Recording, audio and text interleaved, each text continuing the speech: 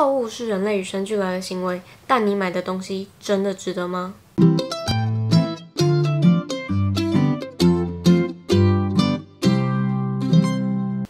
嗨，大家好，我是平平，今天要来跟大家分享的是我的一月购物清单，就是我会分享说我在上个月的这个时候都买了些什么，什么东西值得买，什么东西真的不要买。如果有兴趣的话，就赶快去看下去吧，Go Go！第一个买东西是这个，是璇璇跟 Grace Gift 联名的方跟靴。我自己在冬天的时候其实是还蛮喜欢穿靴子，但无奈我的上身白靴实在是太难穿了，所以我就想说，不行，这冬天我一定要把它换掉。哦，我觉得果真的是 B 加 F 型。我先说我入手它的主要原因，它的选色不是说是纯白色，而是有点偏米杏色，再撞下面这样子一点点的咖啡色，它不会说到非常的明显，可是就是让它的鞋子本身多了一点层次感。然后再来是它的这个方跟，它是一个非常有棱有角的方跟，我觉得在设计上算是还蛮有识别度的。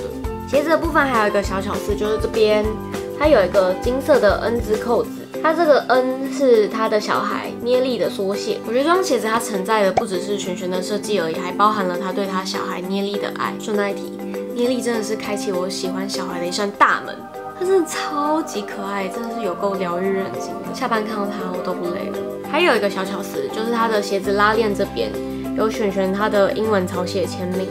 我觉得说它虽然不是说非常的明显，可是它就是让鞋子多了一点细节在里面。再来是它的设计理念，选选这次一共设计了四款鞋子，然后方跟靴代表着就是他现在的自己。从现在开始的决定，就让它是最好的选择。哇，看到这个文案，我整个心脏被暴击了一下。也太棒了吧！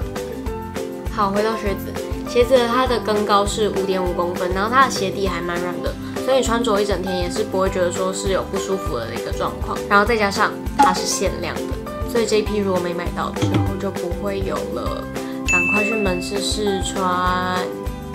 整体来说，我觉得它是非常值得购入的。虽然说它的单价不算是很便宜，一双要来到二一八零。不过我觉得鞋子保养得宜的话，你是可以穿好几个冬天，完全不是问题的。再加上它这样子的外形，它的设计理念，还有它的一些细节，真的让我觉得说，嗯，好，买下去吧。第二个买东西是这个，是 Track to Trade 的冲锋衣。一月的时候有好几波霸王级，还有，所以怕冷的人一定要未雨绸缪。除了备好发热衣跟暖暖包之外，我觉得冲锋外套一定要买一件。它的内层是保暖用的。然后外层的话就是防风跟防泼水，我觉得在台北个位数的温度都还挡得住。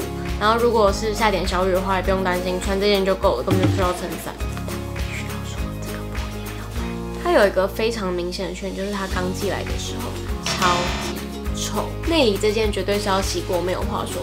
可是外层这件居然也要晒个好几天才会比较没有味道。就连我现在我已经穿半个多月了，它都还是有一点点的塑胶味在里边。我真的是，再加上它内里这个颜色，是跟外面那一层差超多？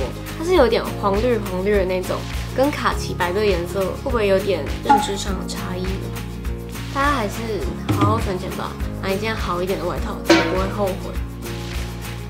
第三个东西也是冬天必备，就是撒蹦的护手霜。撒蹦它是一个以色列的牌子，然后主要也是卖保养啊香氛为主。因为我真的是大爱他们家白茶这个味道，这在意见上面可能会有一点点偏颇。先说护手霜本身，我觉得它的滋润程度是恰到好处的，就是它刚刚好可以修护你干燥的双手，可是它又不会说到黏腻，然后吸收也很快速，就这样子轻轻的把它抹开。哦，白茶味真的好好闻哦！我跟你说，白茶这个味道，它就是漂亮气质的女生身上会有的那种香气。我自己是买五十 ml 的，然后价格是四百八十元。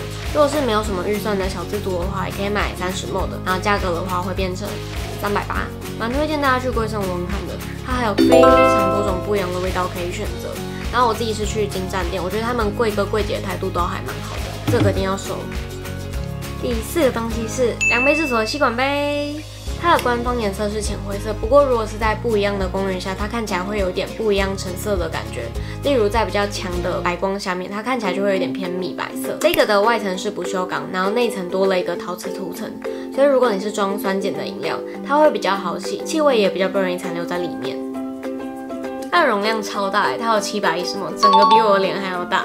所以基本上如果是市售饮料都是装得下。然后小配件的话，一定要买这个是透明的封口杯盖。原因有三点，因为吸管杯你如果超过五六十度，其实你吸管就已经吸不太起来了，所以你买这个透明的封口杯盖，它就可以直接就口喝。然后第二点是它的这个杯盖，它才有办法放得下粗吸管哦。所以如果你平常是喜欢喝珍珠奶茶、啊珍波椰啊之类这种有料饮料的话，你一定要买这个东西。第三点是它的这个，它是可以完全防漏水，所以如果你今天是放包包的话，你也不用担心。然后这个杯底套也是一定要买的，它可以防止你放在桌上的时候，它去敲到，它可能会有点掉漆啊、受伤之类的。然后它还有出这个吸管塞，细吸管的话是蓝色的这个牛奶盒，然后粗吸管的话是黄色的这个珍珠奶茶。它这个的话就是说它可以防尘啊，然后防飞沫。我觉得在疫情的这个时代啊，一定要买。但总结来说，这个产品真的是见仁见智。第一点是它容量真的很大，所以如果你今天是要外出携带的话，很不方便。